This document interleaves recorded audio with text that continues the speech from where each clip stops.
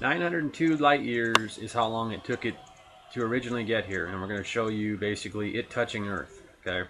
And it's not the first time that light has touched Earth. And we're going to go ahead and show you that. Okay. And this object is basically that far away from and Mebsuda or Mebsuda, however you want to pronounce it, is a star that was that five quad point three quadrillion miles away, and basically just watch it basically get up behind the moon and light the moon up.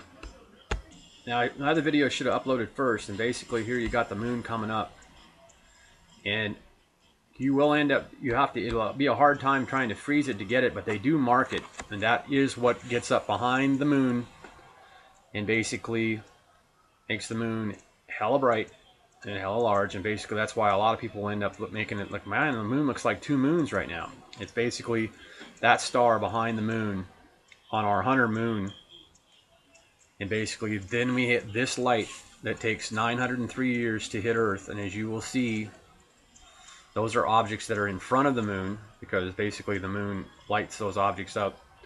Basically, three or four remnants are basically a lot more material than that, and then there that light hits the Earth. And let me blow that up for you a little bit. Basically, you're watching what is out in front of the moon. And basically, every time something gets lit up, we get to see the objects as, i.e., you've seen those planets that are basically in front of the sun and in between us in the dark side of Earth on our back door normally, but we're in a very unique position right now. And that's why we get a lot of magnetical activity, and i.e., the rings and all the moons around those objects. And as you see, we're going to show you the rings around that one planet where the idea that it has more than one polarity because the idea that it seems like a planet or a moon that is coming around uh, that big planet that will that you should have seen from the video if you watched in order you watched the video before I made this one now basically there you have the objects and the light energy from 903 years ago basically coming in onto the earth okay and here is this light energy hitting Earth, okay? And basically that's off the moon. And that's it there. And I'll probably be able to get over here and hit play and then scoot back over and you'll be able to see it almost basically, and a good deal is go to the Earthquake 3D and then you'll be able to see the light sphere that basically usually is the heating of the Earth that ends up causing quakes. And there you go, hitting the Earth. Okay, and that's basically objects in front of the moon that made that happen and hit Earth. Okay, because basically it is a reflective, reflective, reflective, refractory telescope. Reflective, basically it reflects what is in front of all the illumination out in space when they get in transit. They end up giving us what will end up coming down to us to be able to see and then that's why you end up seeing the objects that were in the video before and I'll actually freeze this again and we'll go in and study the magneticism of the objects that are end up hitting Earth. So once again we're playing just a, a day at a time and nothing is in between the sun and Earth. Mercury's not in front, the moon's not in front, nothing's there. So you know that these objects are there and that's all the way to the November 7th then Mercury starts getting closer. For right now, all this stuff that you're going to see at the Hawaiian telescope when you look at it in the morning is going to be what's in front of the sun, in between the sun and Earth.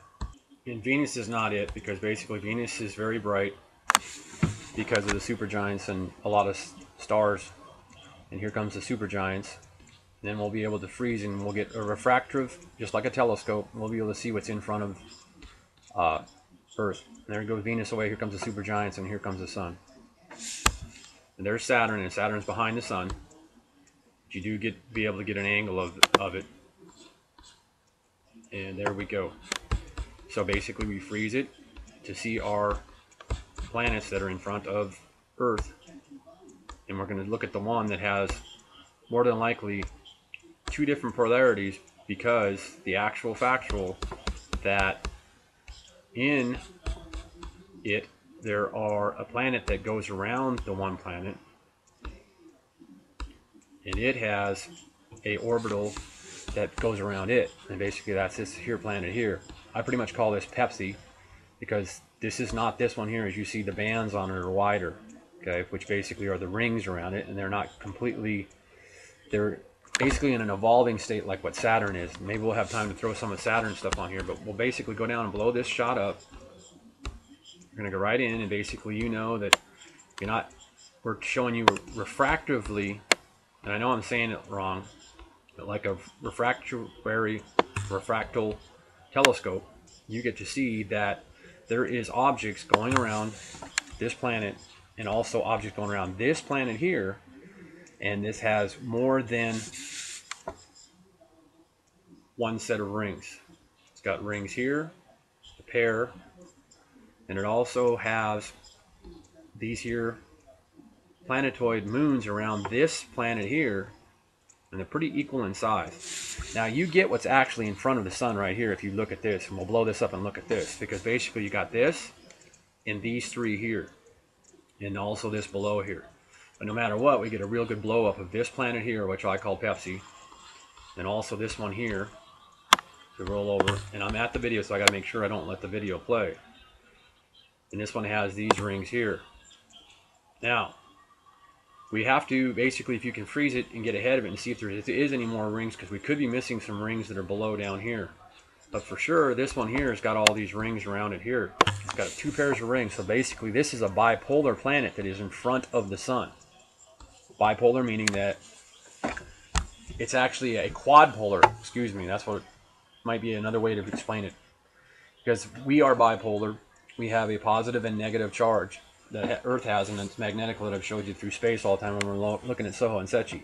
So we can blow this up more and look at these rings and look at these planets that are basically, they could be planets because they could be darn large. We know that this one here, I can tell that this one is pretty darn large. As you can see that this has this ring around it and it looks separate than the ring that's around the planet. And you can pretty much see it here there is a huge moon or planet that has a magnetical ring around it. So I would call it a planet because it's got a magnetical ring and it could actually have another magnetical ring below it. And it also has these moons, more than likely, that are part of this system here and also of this huge planet because this is not Saturn, ladies and gentlemen, okay? But it has rings like Saturn. All these do. This here Pepsi that I call, this here, and also this planet here. And we get this in the darkness of space with all the light from the supergiants and the sun being able to expose these planets that are between us and Earth, i.e., back up the video and see that there's nothing between us and the sun except for these objects here that basically you get a refractive telescope view from it from the light off of the sun in the supergiants. So let's blow this up. Yeah, I've got to be careful making sure not to let the player go basically we have what is might be Fomalhaut right here below.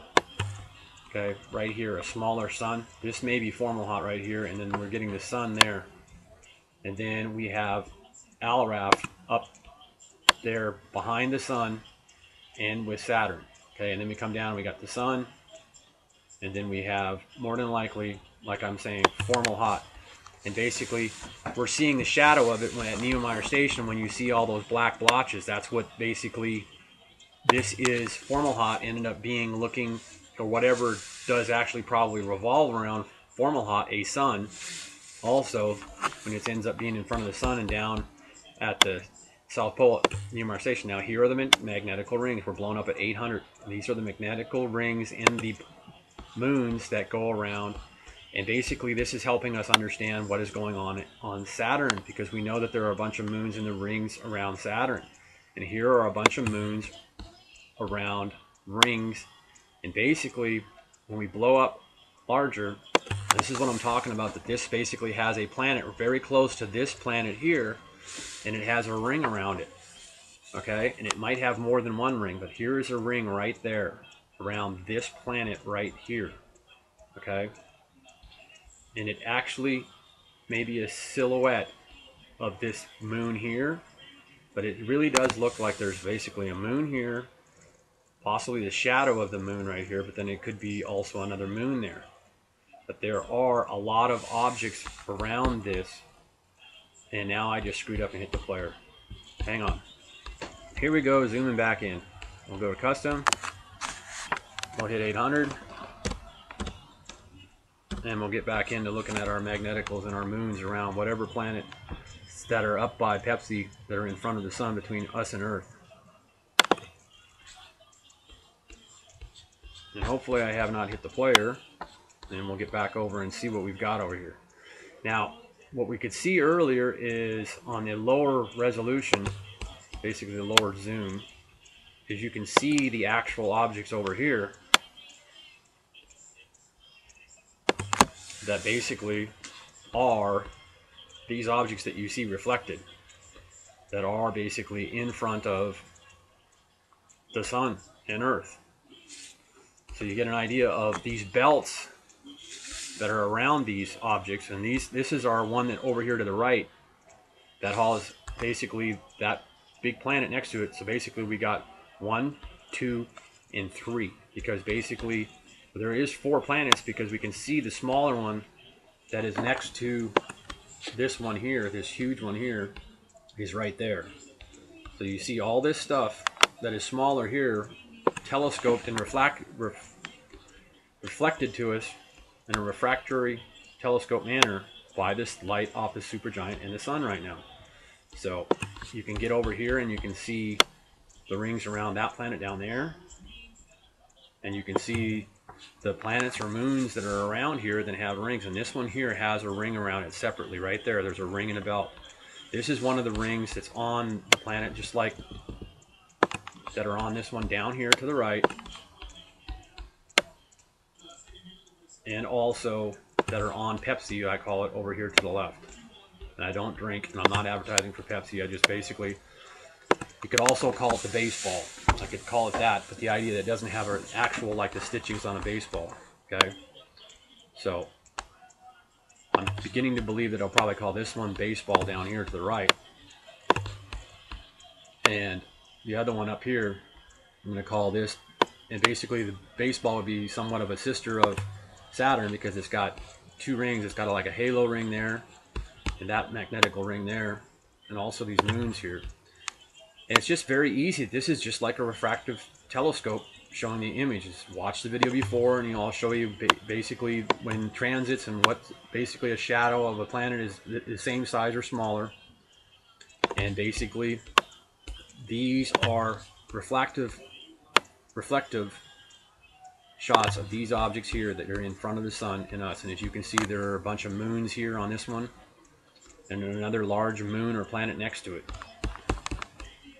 And then you have to decipher that basically all four of these objects pretty much have rings and an extra moon or planet next to it very close. So we've got an interesting cluster of planets. And you can't deny the rings, and basically it's all magnetical. This is this these four rings here. Boom, boom, boom. And also the one planet here that has a ring around it. And also that there is a large planet or object here. Whether you want to call them moons or not, we won't know until we get a closer look, i.e. you got to watch the video before this one to be able to understand that Mercury is pretty much a moon. And you can see the actual factual pictures from NASA on it.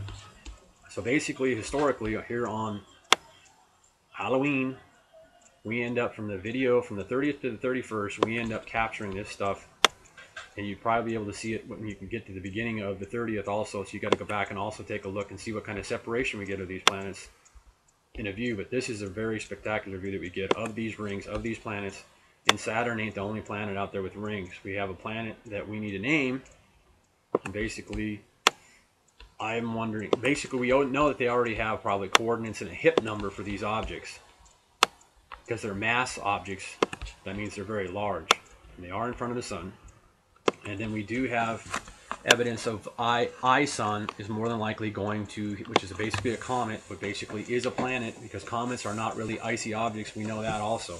There's a video I'll be able to show you in the future, and I've made mention of it, that the idea that we know that, and that'll probably be the next video, that we know that comets are not icy balls. They are basically large massive objects going through space.